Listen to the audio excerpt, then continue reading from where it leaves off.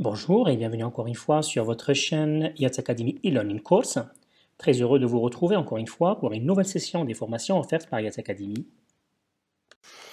La session d'aujourd'hui sera consacrée à l'organisation de l'aviation civile internationale, l'OACI. Mais avant cela, je vous présente un bref aperçu de l'aviation civile et de ses caractéristiques. L'aviation civile est une industrie majeure à notre époque. Sans le transport aérien, le tourisme international de masse n'existerait pas et les chaînes d'approvisionnement mondiales ne pourraient pas fonctionner. Environ 50% des ventes de produits de haute technologie aujourd'hui dépendent d'un transport aérien de bonne qualité. Un autre aspect, il n'y a pas de mode de transport plus rapide pour les denrées périssables dans le monde entier. L'aviation civile a plusieurs caractéristiques distinctes. Premièrement, c'est une industrie véritablement transnationale, mais toujours fermement ancrée au pays. Les États sont souvent fiers de leurs transporteurs nationaux. Deuxièmement, elle est hautement réglementée au niveau international et national, en partie pour maintenir la sécurité et la sûreté, mais aussi pour des raisons économiques et politiques. Troisièmement, la déréglementation de l'industrie depuis la fin des années 1970 a conduit à une différenciation parmi les différentes catégories des compagnies aériennes. Aujourd'hui, vous avez des compagnies euh, euh, dites régulières, vous avez des charters, vous avez des low cost. Il y a plusieurs catégories en fait de compagnies aériennes aujourd'hui. Quatrièmement, le marché du travail dans l'aviation civile est très segmenté, ce qui se reflète dans les relations professionnelles dans l'ensemble de l'industrie. Le système du transport aérien sont interdépendants impliquant les compagnies aériennes, tous les prestataires des services, les autorités sur le terrain et d'autres partenaires. En 1944, la Convention relative à l'aviation civile internationale, connue aussi sous le nom de la Convention de Chicago, aux États-Unis, là où elle a été signée, a créé l'Organisation de l'aviation civile internationale, l'OACI, une agence spécialisée des Nations Unies qui est chargée de la coordination et la régularisation du transport aérien international. La Convention établit les règles de l'air ainsi que de la sécurité et précise les droits et devoirs des pays signataires en matière de droit aérien relatifs au transport international. Actuellement, cette organisation regroupe 193 États membres.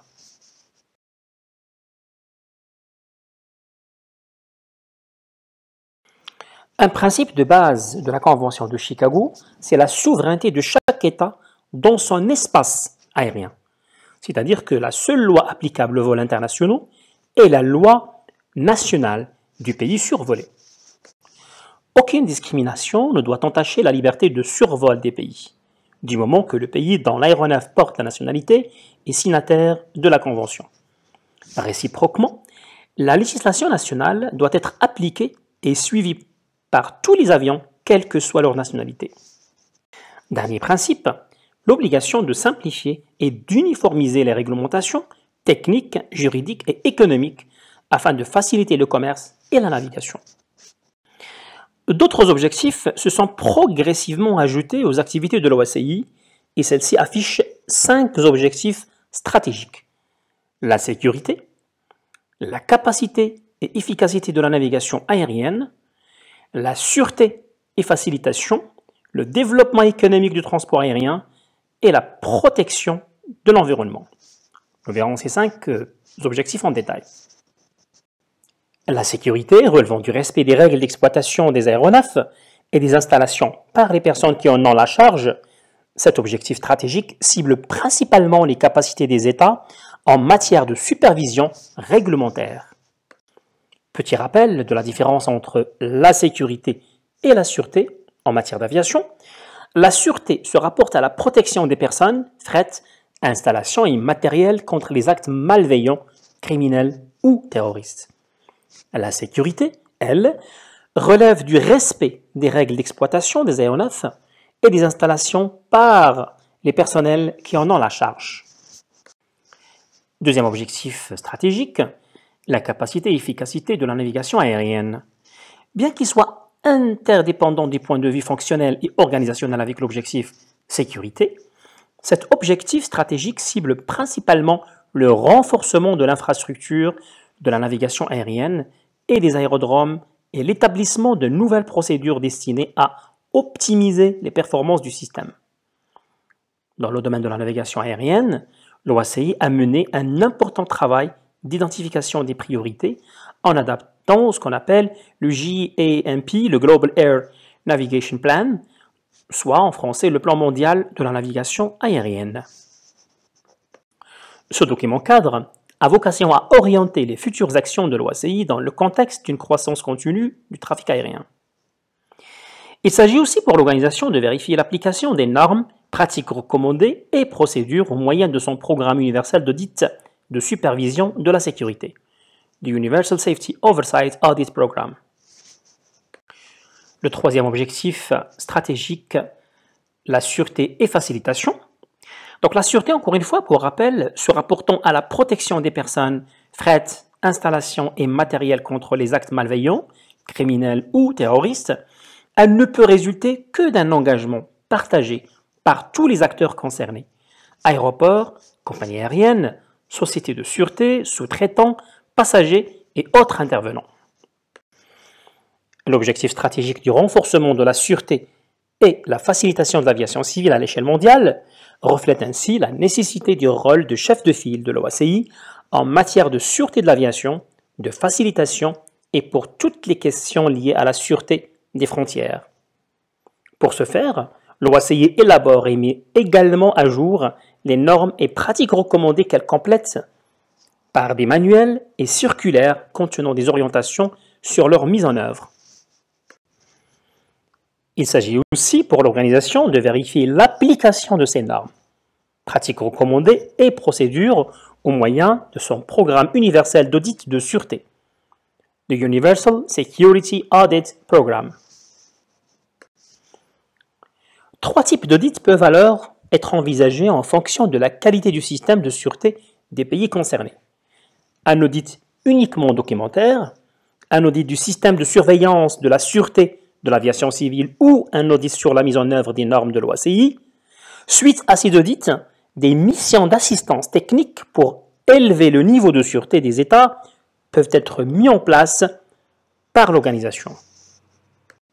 Quatrième objectif stratégique, le développement économique du transport aérien, un aspect capital de l'aviation internationale. Cet objectif stratégique reflète la nécessité du rôle de chef de file de l'OACI pour une harmonisation du cadre du transport aérien axé sur les politiques économiques et les activités de soutien. Il vise à encourager la mise en place d'un système d'aviation civile économiquement viable, compagnies aériennes, aéroports, fournisseurs de services de navigation aérienne, etc. Et à en renforcer l'efficacité économique et la transparence tout en facilitant l'accès au financement pour l'infrastructure aéronautique et autres besoins d'investissement le transfert technologique et le renforcement des capacités. Ceci afin d'appuyer la croissance du transport aérien dans l'intérêt de toutes les parties prenantes. Les résultats attendus de cet objectif stratégique sont les suivants. Un cadre réglementaire mondial cohérent pour le transport aérien international, contribuant à l'élimination d'obstacles à la durabilité économique et à l'optimisation du potentiel de l'aviation comme moteur de développement économique l'obtention et l'élargissement de l'accès au financement pour l'infrastructure aéronautique, fonction de supervision de l'État et l'utilisation efficace des ressources et des technologies. Des solutions pour surmonter les restrictions de capacité de l'infrastructure et de l'espace aérien pour améliorer les capacités d'organisation et de gestion de la gouvernance d'entreprise. La meilleure coopération dans la communauté aéronautique et entre toutes les parties prenantes et adaptation sans difficulté à l'évolution de l'aviation civile, de l'environnement commercial mondial et du marché. Des réalisations d'économie importantes pour les États dans les négociations de services aériens et dans l'exécution des fonctions de réglementation. La disponibilité des données aéronautiques exactes, fiables et cohérentes, enfin du processus décisionnel et d'imputabilité des États et pour la transparence des opérations pour toutes les parties prenantes du transport aérien et les marchés. Enfin, la disponibilité d'outils et de prévisions nécessaires pour mesurer si besoin et si possible également et prévoir les divers aspects de développement de l'aviation civile. La compétence économique en matière d'aviation civile. Si l'Organisation mondiale du commerce, l'OMC, traite de négociation des accords destinés à réduire les obstacles au commerce international, à garantir des conditions égales pour tous et à contribuer ainsi à la croissance économique et au développement, les services du transport aérien ne sont pas couverts par l'accord général sur le commerce des services, à l'exception de certains services annexes. Seul l'accord multilatéral sur le commerce des aéronefs civils de 1994, de l'accord de Marrakech, traite de l'aviation et de son développement. Celui-ci prévoit la suppression des droits d'importation perçus sur tous les aéronefs autres que les aéronefs militaires, ainsi que sur tous les autres produits visés. Les moteurs d'aéronefs civils, leurs parties et pièces et leurs composants, tous les composants et sous-ensembles d'aéronefs civils, ainsi que les simulateurs de vol, leurs parties et pièces et leurs composants. Cinquième objectif stratégique de l'OACI, la protection de l'environnement. Les travaux de l'OACI dans le domaine de l'environnement se concentrent principalement sur les problèmes dont le traitement peut le plus bénéficier d'une approche commune, coordonnée à l'échelle mondiale, à savoir le bruit des aéronefs et les émissions des moteurs d'aviation.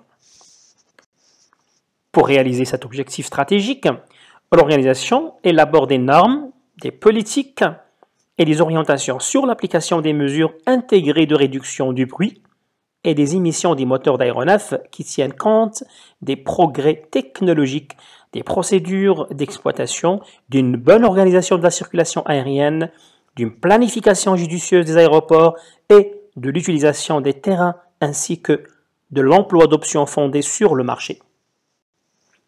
La plupart des travaux sont effectués par le Comité de la protection de l'environnement en aviation, le CAEP, créé par le Conseil de l'OACI, qui est composé de membres et d'observateurs provenant des États, ainsi que d'organisations intergouvernementales et non gouvernementales représentant l'industrie de l'aviation et le secteur environnemental. Voilà, notre session d'aujourd'hui consacrée à l'organisation de l'aviation civile internationale est à présent terminée. Nous avons traité les éléments suivants. D'abord, dans un premier temps, un bref aperçu de l'aviation civile et de ses caractéristiques, le rôle de l'OACI, les cinq objectifs principaux de l'OACI, à savoir la sécurité, la capacité et efficacité de la navigation aérienne, la sûreté et facilitation, le développement économique du transport aérien et enfin la protection de l'environnement. Encore une fois, je rappelle les anglophones parmi vous que vous pouvez visiter notre blog aviationstars.com qui contient un nombre important de sujets en anglais et qui pourront vous intéresser. Je vous mettrai le lien dans l'espace d'inscription de cette vidéo. Encore une fois, merci pour votre intérêt, pour votre fidélité. Sur ce, je vous dis au revoir, portez-vous bien et à la prochaine, Inch'Allah.